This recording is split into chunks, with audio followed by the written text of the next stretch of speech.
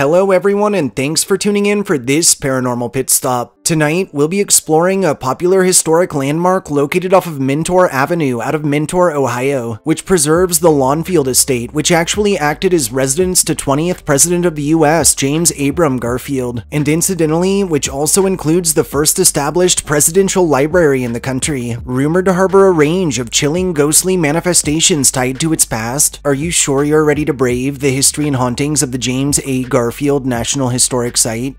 Historically, land now hosting our current historic site was initially owned under the Dickey family, headed by James Dickey, who in 1832 would construct a nine-room farmhouse. In 1876, James Abram Garfield would purchase this home and connected property from James Dickey's widow, after which in 1880 he would transform the farmhouse into a 20-room mansion to accommodate he and his family. Around this same time, Garfield would be selected as Republican candidate for the 1880 presidential election, and following this selection, waves of visitors would begin flooding his estate. While Garfield was advised that it was not the responsibility of the candidate to run their own campaign, he'd humbly and happily accommodate his droves of guests, and would address the people in person through way of speeches issued right from his front porch, as well as meet and greets, resulting in the first ever front porch campaign from what would be called by reporters Lawnfield. On March 4th of 1881, Garfield was inaugurated as President of the United States. However, sadly, on July 2nd of the same year, he was shot by assassin Charles Guiteau and would live for only another 80 days before perishing on September 19th to infection.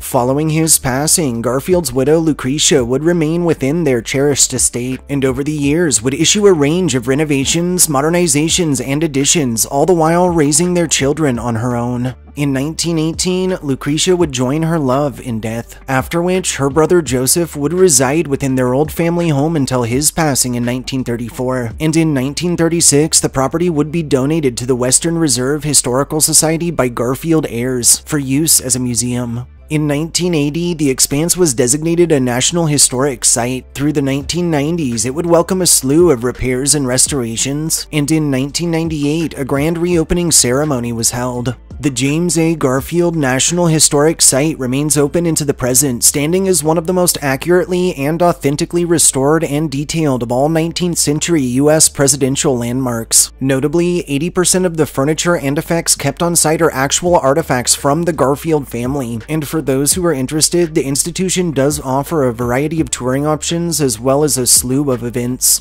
Rather tragically, the whole of this weathered property is rumored to harbor the lingering souls of the Garfield family and possibly several presences related to acquaintances who cherish the estate in lives since past, and those frequenting its bounds have detailed a range of otherworldly encounters, including extreme cold patches felt in adverse weather or within climate-controlled zones, instances of doors and windows opening and closing at random, and objects sighted moving about on their own, or entire displays or even rooms discovered rearranged in the morning, after the building has been locked up and empty through the night.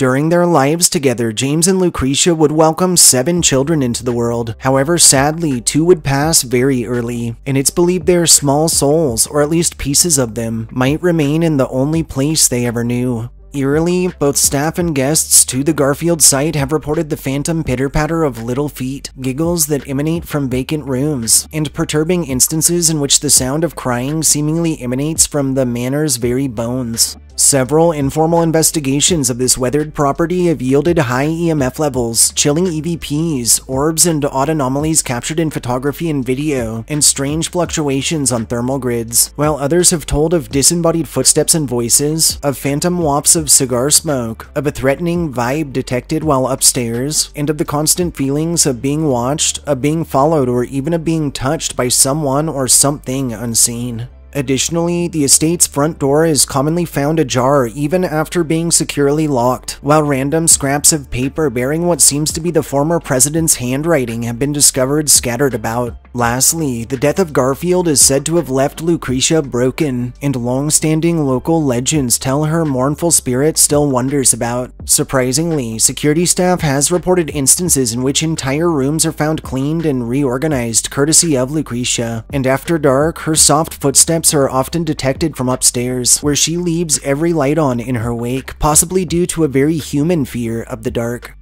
Thanks for joining us for this paranormal pit stop. If you enjoyed hearing our histories and ghost stories, subscribe to our channel, like this upload, and share us with anyone you feel could use a good scare. We'll catch you next time.